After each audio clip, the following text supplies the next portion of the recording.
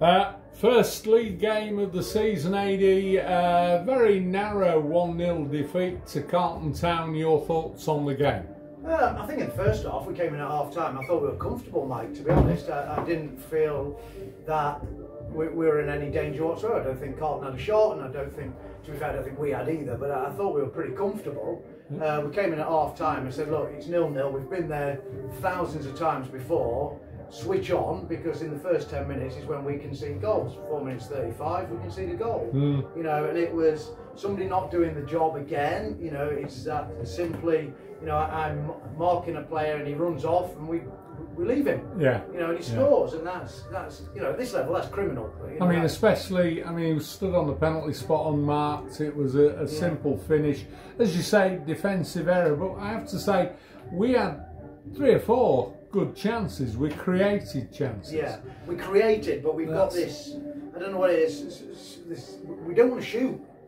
We don't want to shoot, and I'm not blaming forwards for this. I'm thinking about our midfield players. You know, midfield players in and around the box don't want to shoot. Yeah. They want to pass. You know, and when you're in and around the 18-yard box, you, have got to shoot. Anything can happen. Right. You know, it might be going four foot wide, but by the time it hits somebody, it goes mm. goes in the opposite corner. So you, yeah. you'll never know unless you shoot. And we've got this we've got this habit at the moment of midfield players passing, and they yeah. should be shooting.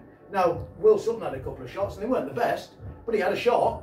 You know, he had a couple of shots. Mm. You know, yeah. Jack Bilham had one in the first half that narrowly went over the bar, but you know, we we should have been shooting more. Yeah, we've got to start putting them away. Yeah. Uh, everybody come through unscathed now? Yeah, injuries? no injuries. Yeah, uh, no injuries at all. Hopefully, um, Nathan Doyle will be back fit next for, for maybe not Wednesday, but certainly our next um, home game against Liversedge.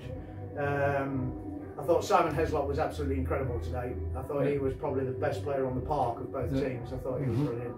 Yeah. Um, we just need, you know, that desire, that that willingness to get on the ball and play from everybody. Yeah, good performance. We just need to, we need to take those chances. You don't tend to get many at this level, and no. the ones you get uh, you've got to take. So as you say, uh, we go again Wednesday yep. away at Brighouse, back here the following Tuesday, the 20th, against Liversedge. AD, uh, all the best for Wednesday night and thank you for your time this afternoon. You're very welcome. Thanks, Mike.